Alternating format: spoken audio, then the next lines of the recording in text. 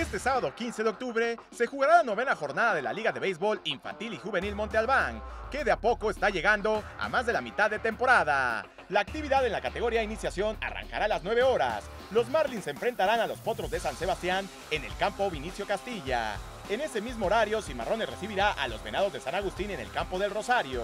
Una hora más tarde, Guerreritos de Jutla le hará los honores a los Búfalos de Cimatlán. En la preinfantil 9-10 años se disputarán cuatro duelos.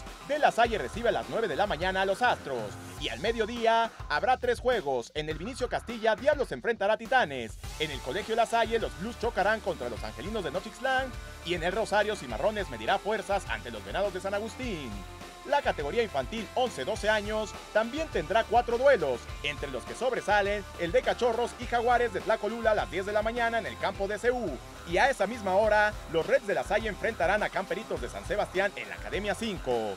La Pre-Junior 13-14 años contará con tres encuentros de poder a poder. A las 9 horas, Rangers jugará ante los Tigres en la Academia 5 y en el Tequio Liga Montalbán 1, Camperos de San Sebastián estarán visitando a los Búfalos. Al término de este duelo, iniciarán las hostilidades Piratas y Diablos. Por último, la categoría Junior 15-16 años tendrá par de duelos. Los Royals se enfrentarán a De La Salle en Iscotel y los Venados a los Giants en la Academia 1. Este par de encuentros arrancarán a las 9 horas. Informó para MMM Deportes Pablo Vázquez.